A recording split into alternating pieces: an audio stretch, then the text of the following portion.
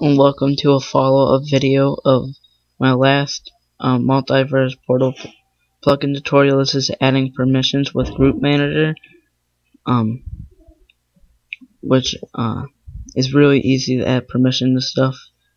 So, as you can see, I was just doing some other stuff, and I, I am the owner of my server. My server IP will be in the description if you want to join.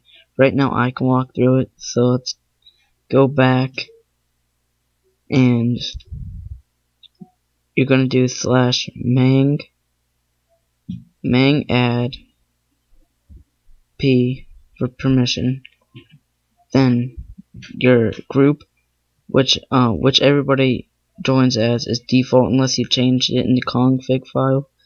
So now it's default and you can do multiverse dot portal dot access so now you're just going to type your portal name, which for me is S1.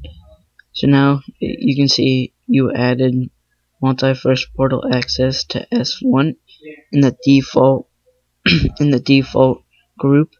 So now if I default myself and add me into the default group, uh, default default.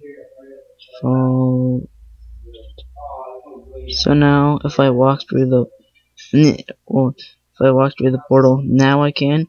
But if I go after this portal over here, I can't walk through it because I haven't added permission, as you can see.